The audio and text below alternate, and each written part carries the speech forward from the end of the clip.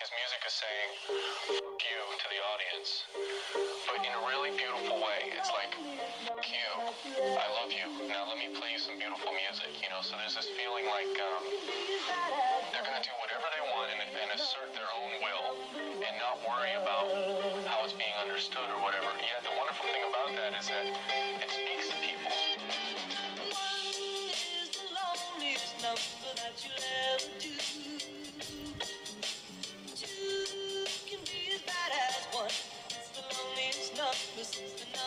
one. Is the loneliest number that you'll ever do. Two can be as bad as one. It's the loneliest number the number. One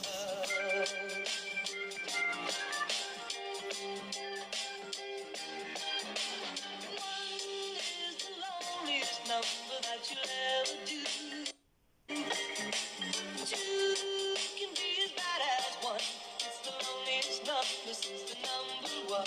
One is the loneliest number that you'll ever do. Two can be as bad as one. It's the loneliest number since the number one.